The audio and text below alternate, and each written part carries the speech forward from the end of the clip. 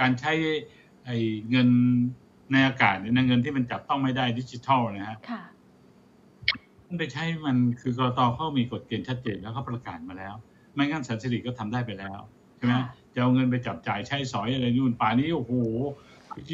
เราไม่มีเงินสดใช้กันแล้วใช้ดิจิตอลกันไปหมดมั้งครับอืมอืมันก็เป็นนโยบายกันจะพูดอะไรก็พูดได้ไงแต่ว่าทำแล้วมันทำได้หรือเปล่าค่ะค่ะอ่าค่ะ เพราะจริมันงมันมันมัน แต่ว่ามันคือมันพูดแล้วทำให้คนเพ้อฝันนะๆอืมเกิดความเพ้ออืมอืมอืมอืม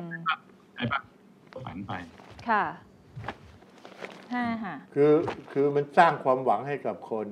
คือมันไม่ใช่หมื่นเดียวนะ อย่าลืมนะว่าเขาให้ตั้งแต่เด็กอายุ 16 ปี บางบ้านนะลูก4คนนะ ตั้งแต่ 16 18 19อะไร20 แล้วก็พ่อแม่อีก อย่าลืมนะ6คนนะครับ6คนเนี่ยเอาตัวเลขมาเขาไม่รู้ว่าจะดิจิตอลดิจิตอลใช่ไหมหกหมื่นนะถ้าใช้ภายใน6เดือนนะเขาก็มองตัวเลขอืมตรงนี้ ไอ้นี่คือการเอ่อพูดง่ายๆอะก็ซื้อเสียงด้วยเงินด้วยเงินงบประมาณอะเพราะว่ากฎหมายมันบอกแล้วไงว่า ถ้าคุณหาทางเอางบประมาณมาเนี่ยนะแล้วก็มาทำมันผ่านสภาไปตามกระบวนกฎหมาย แต่ไม่ใช่บอกว่าสัญญาจะให้อันนู้นไอ้นี่แล้วไม่รู้ที่มาของเงินไม่ได้ อันนี้เขาก็ชี้แจงกรตแล้วว่าจะเอาเงินจากงบประมาณส่วนนั้นส่วนนี้มาเอามาทำเพื่อให้เงินมันหมุนโดยหลักการแล้วเนี่ยผมว่ามันก็ดีอะนะที่เอาเงินลงไป เพราะตอนนี้มันแย่มากค่ะลงไปแล้วให้ตลาดมันหมุน มันก็จะไปอุตสาหกรรมคนขายของเอ่อแล้วก็ไปหมุนอยู่ในในพื้นที่เขาข้อกำหนดนะแต่ในระบบสี่สี่กิโลนี่มัน มันไม่ได้หรอกคุณชุนันอยู่ต้องออกมามันไกลกว่าสี่กิโลซื้อของอะไรอย่างเงี้ยใช่ไหมแล้วเงินดิจิตอลชาวบ้านเขาทำเป็นที่ไหนเขาก็เลยให้เด็กอายุสิบหกเพื่อให้เด็กเนี่ยสอนผู้ใหญ่ ไม่มีไม่ต้องอะไรเงินตอนเนี้ยเป็นประชารัฐอะก็มีในหน้าทั้งนั้นอะเห็นไหมบัตรเนี่ยเขาซื้อไม่ได้ สมมุติให้เขาไปสามร้อยสี่ร้อยห้าร้อยเห็นไหมเวลาเขาจะไปตลาดเนี่ยค่ะเขาโดนค่าคิวร้อยหนึ่งนะ เพราะมันไปไกลไปอำเภออย่างเงี้ยต้องไปซื้อที่นู่นอ๋อใช่ไหม เพราะฉะนั้นเนี่ยนี่อย่างนี้ อันนี้ก็เหมือนกัน อาจจะมีหัวคิวด้วยก็ได้ดิจิตอลแบบนี้ ค่ะค่ะคุณยิ่งดูหูเนี่ยเป็นทันสมัยเนี่ยแต่มันก็คืออะไรรู้ป่ะบัตรประชารัฐนี่แหละถูกไหมมันแตกต่างกันตรงไหนบัตรประชารัฐใช่ใช่ใช่อืมมันก็เหมือนกันแบบคุณให้ดูหรูทำเป็นทันสมัย แต่อันเนี้ยเหมือนเขาจะไม่ได้ใช้สกุลเงินบาทด้วยค่ะ พี่พี่สุนันท์เหมือนเขาจะแบบให้เป็นเงินเงินแบบคริปโตเลยอะ ใช่ใช่ตั้งใช่ไหมเงินสกุลใหม่ขึ้นมาตั้งเงินสกุลใหม่ขึ้นมา คือไม่ได้ใช้อย่างบัตรประชารัฐหรือว่าเป๋าตังค์เงี้ยมันยังเป็นสกุลเงินบาท เพราะจริง ๆ มันก็มีคนบอกว่า แล้วทำไมเพื่อไทยถึง เราก็มีเป๋าตังค์อยู่แล้ว ซึ่งคนส่วนใหญ่ใช้ทำไมถึงไม่ใช้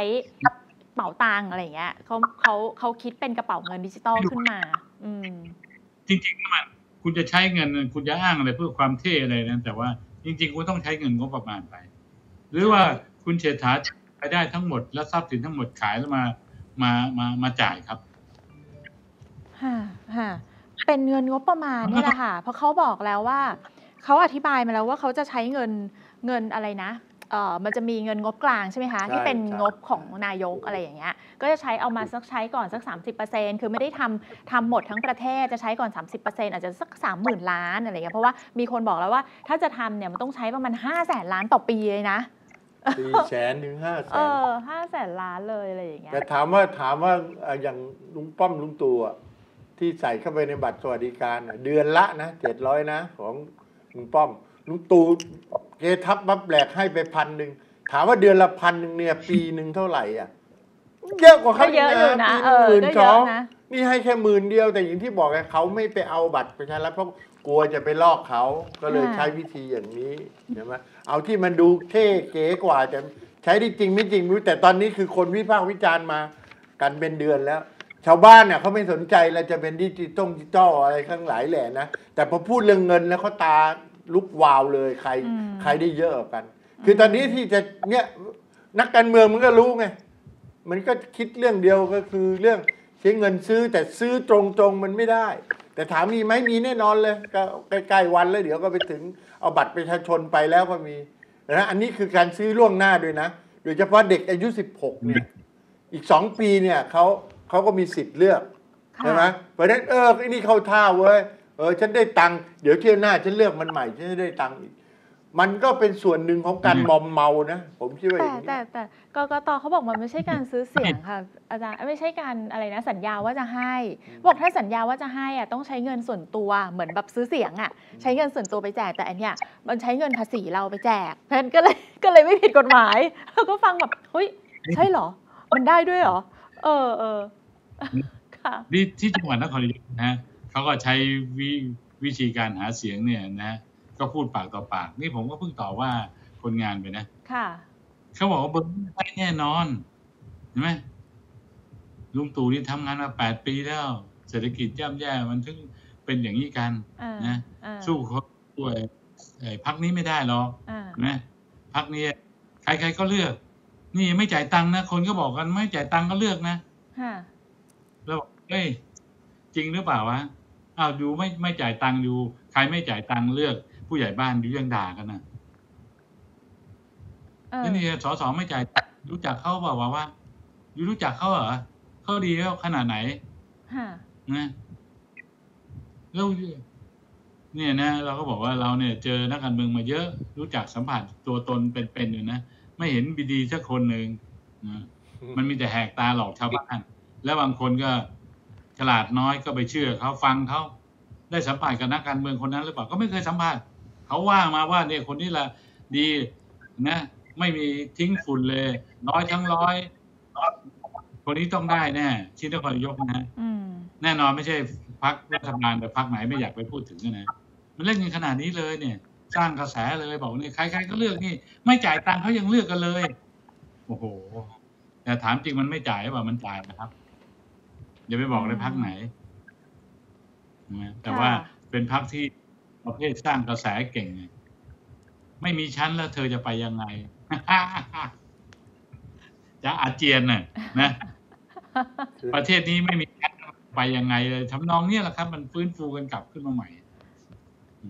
ก็ค่ะกระสุนกระสุนกับกระแสน่ะ ผลที่สุดแล้วกระสุนมันมาแรงกว่ากระแส เพราะมันโอ้แน่นอนแน่นอนเออเพราะมันเสียงดังอะนะกระสุนนะมันปุ้งออกมาไม่ได้ดูเนี่ยประเทศนี้มันยังซื้อได้อยู่เขาจับต้องได้อะกระแสมันจับต้องไม่ได้ ประเทศไทยมันเป็นอย่างนี้มานานแล้วคุณดูเลือกกำนันผู้ใหญ่บ้าน เลือกนายกเทศมนตรีเหอะกระสุนกันทั้งนั้นน่ะถามทำไมถึงต้องใช้เขาบอกไม่ใช้สู้อีกฝ่ายไม่ได้เหมือนกันหัวเป็นพันนะขนาดระดับท้องถิ่นนะเพราะฉะนั้นประเทศระดับนี้โอ้ย สมุดปราการนี่ที่สุดครับทำไมคะแพงนะ เท่าไหร่ ถ้าเลือกอบตราชาเทวะแพงที่สุดครับอ่าเพราะว่าในประเทศเสาไฟฟ้าเขาสวยมากเสไฟเขเยอะเสาไฟเขาเยอะเสาไฟเยอะกว่าเพื่อนเสาไฟเขาเยอะขนาดดีค่ะนี่ผู้มีประสบการณ์ตรงเนี่ยแหมจะย้ายทะเบียนบ้านไปอยู่แล้วเออ ย้ายไปรอบนี้ก็ไม่ทันแล้วนะ มันมันไม่ทันภายในระยะเวลาที่กกตกำหนดแล้วนะคือที่จริงเรื่องนโยบายนี่นะ ถ้าเราจะไม่ให้สเปดสปากันแบบนี้ใครนึกอะไรได้ คิดอะไรได้ก็พูดกันส่งเด่นมาค่ะมันต้องมีการทำมาก่อนล่วงหน้าเป็นปีค่ะแล้วก็สามารถที่จะนำเสนอไปเสนอกกตอ่าแล้วก็ให้ประชาชนในพิจารณาก่อน เหมือนไปทำพิจารณ์ค่ะค่ะหรือไม่ก็ไปรับฟังความคิดเห็นประชาชน เอาบ้านคุณสุนันถ้าเป็นผมเป็นรัฐบาลคุณสุนันต้องการอะไรไว้หนึ่งสองสามสี่แล้วเอาพวกนี้มาประมวลรวมกัน ให้นักวิชาการช่วยกันทำขึ้นมา แล้วก็พักนี้มีนโยบายอย่างนี้อย่างนี้ ให้ประชาชนรู้ล่วงหน้า แล้วก็กรกตก็ตรวจสอบได้ล่วงหน้าด้วย ไม่ใช่ นึกขึ้นมาเสร็จทีไปยื่นทีกรกตก็สอบทีถามคุณเอาตังค์จากไหนมามันเหมือนเด็กกับนักเรียนกับครูอะไรก็ไม่รู้ทำนี่มันการเมืองระดับประเทศระดับชาตินะ ดูเหมือนเล่นเดี๋ยวเดี๋ยวเดี๋ยวมีมาใหม่อีกของใครก็แย่งกันเนี่ยอืมเห็นไหมอืมอืมนะอย่างพอลุงป้อมบอกก่อนเพื่อนเลยลุงป้อมเจ็ดร้อยกลายเป็นตู่หนึ่งพันเอออืมอันนี้เพื่อไทยหมื่นเลยคือมันมันเล่นอะไรกันเนี่ยบ้านเนี้ยเมืองเนี้ยเนี่ยนะค่ะฮะค่ะค่ะไม่มีใครดูนโยบายนะนะสร้างสังคมที่ดีประเทศที่ดีนะและเปลี่ยนแปลงที่ดีนะ มันจะพูดถึงว่าหาเสียงด้วยกันเนี่ย บัดเงินเข้าไปอะเอาผลประโยชน์มาล่ออืมความจริงพวกนี้ยุบพักให้หมดเลยอืมพวกแจกนู่นทำนู่นนะค่ะค่ะอะแล้วแล้ววันนี้ที่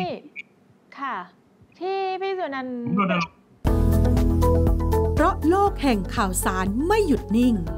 คุณจะไม่ตกข่าว เมื่อคุณเชื่อมต่อเรา News One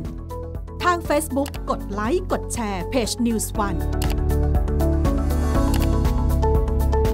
ทาง YouTube กด Subscribe หรือกดกระดิ่งแจ้งเตือนทาง Channel News One เพียงเท่านี้คุณจะไม่พลาดทุกข่าวสารสำคัญ